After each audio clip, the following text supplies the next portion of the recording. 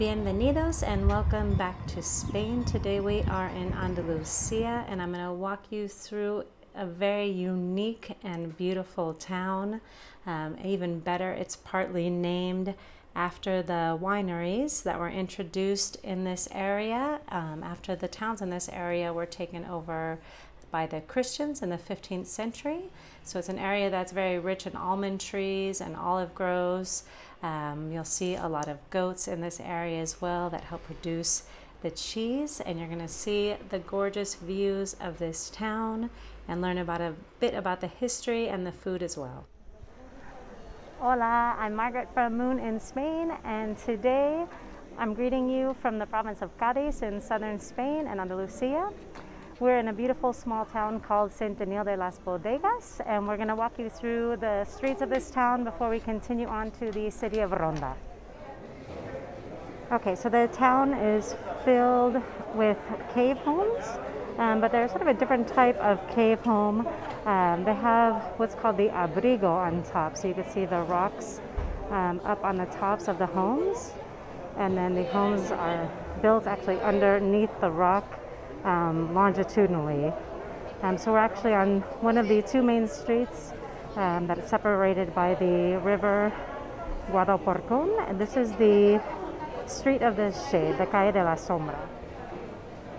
So just one of the things that the town is known for are the sweets that they make um, out of olive oil. So here you can see a nice display um, of different types of cookies, muffins, um, donuts, and here you can get um, a chupito or a shot. So you could have a shot of pacharan, which is a sloe berry liqueur, or any other type of liqueur, and a sweet, um, or a coffee and a sweet for two euros. So we're in a shop here um, that specializes in all different types of ceramics. But in here as well, you can see um, the top of the cave here. So the caves here, the tops of them are from the top.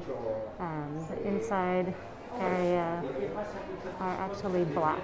So right now I'm looking up um, at the very top of the inside of the shop.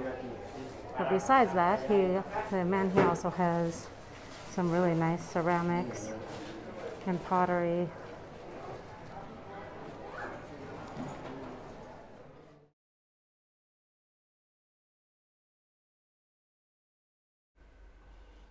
You can see a couple more examples of the ceramics from this area. And now you're going to be able to see again um, the dramatic overhang of the rock um, here with the cave homes built on both side of it. So like I said, that's called the abrigo or the coat. It helps control, um, the, you know, to have decent amount of shade and also the temperature of the insides of the caves as well. Okay, so we're gonna have a quick tapa here at this, um, it's like a store and a small bar. We're gonna have the um, Payoyo cheese, which is from here, from this area. It's made with goat's milk. It's just a semi-cured and it's served with um, a little bit of jam. And then we have a vermouth and a beer. And then we will continue on walking. So we just stopped in this really cool um, place that has all local cheese. Uh, most of it is goat cheese. And then, of course, um, we're in an area where they raise a lot of um, pigs. So we have different chorizo, ham, um, salchichon as well, all from the area.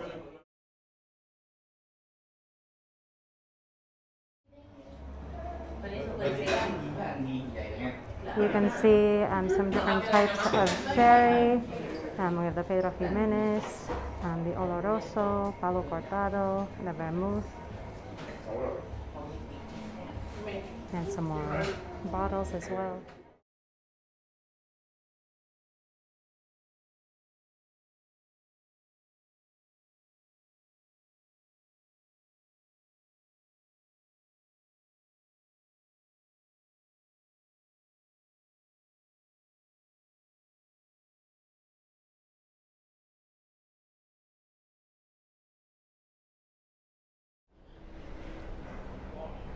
Okay, well we finished our great tapa of the payoyo cheese. It was actually served with a um, like a jam that was made from a sweet sherry.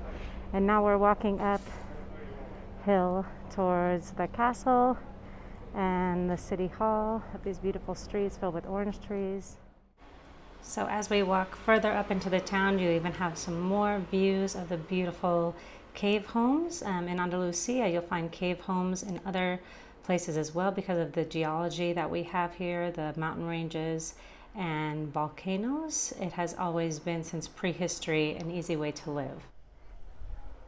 Okay, so we just hiked up here to basically the top of the town. There's a sign here that you'll find um, in many towns in Spain. One of the beautiful towns of the country. So here you have a view of Setenil de las Bodegas up here from the top um, near what was the old Arabic wall of the town. It's a fairly small town, it's only about 3,000 people. And I'm also standing right under um, part of the Nasrid Tower from the castle, so from the Nasrid dynasty.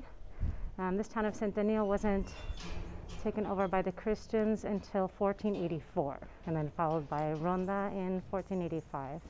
So we are going to continue walking just a bit more through the town and then continue on to Ronda.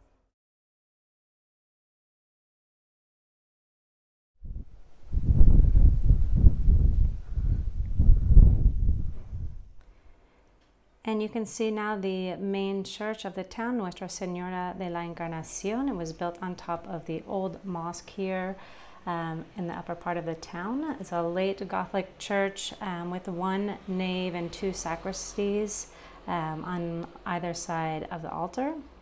And now we're going to continue on our walk. So just down the street from the church, we have another beautiful view of the town from up above and one of the um, our gates to the town as well. And we're going to continue walking down towards the river.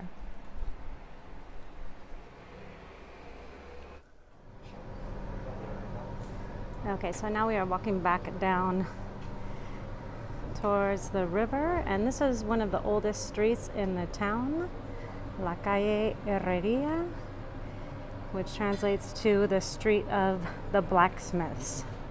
So it goes from the top of the town, walking down, you can see the rocks up here up on top of the street, hanging over, providing some shade. And then we're gonna walk back down towards the river into the center of the town. And walking on the way down, you have a lovely corner here begging you to not be a grump and to kiss your loved one here um, in this beautiful scenery. And then there's another um, corner as well as we're walking down that has some um, flower pots and it's dedicated to the women. It says one flower, one woman, as you can see right here. You can have a view of that wall, just a different view from further away, all the flowers dedicated to women. And another nice view of the town as we walk down. Okay, so we just walked down all the way down back to the center. We're now on the other street, which is called the Street of the Caves in the Sun, which actually has more shade right now um, where we're standing because you could see the rocks hanging over. There's a lot of people out sitting out enjoying um, a lot of grilled meat, which is one of the specialties here, and the grilled Iberian pork. So a lot of people are sitting out here enjoying. I'm standing on one of the bridges that's right here in the center. And so we are going to continue on our journey and jump on the motorcycle and head to Ronda. So thanks for joining us today. Please remember to give a thumbs up and hasta pronto.